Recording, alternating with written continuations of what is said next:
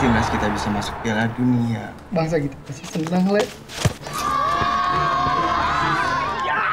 Pinter anak bapak. Minggu depan tim kami berangkat dan kami akan membawa kebanggaan buat bangsa.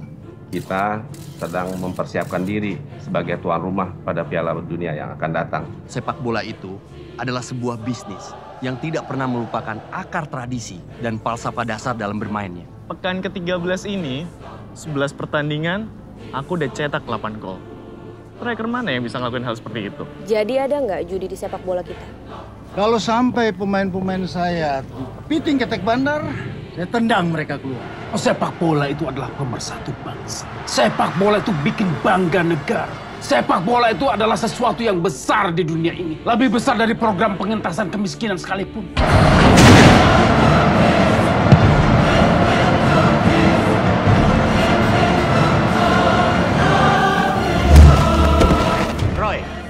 putarannya lagi cepet nih. Buruan, lo atur deh. Alright, we'll see what we can do, alright? No, I don't wanna fucking see what you can do. Just break his fucking leg.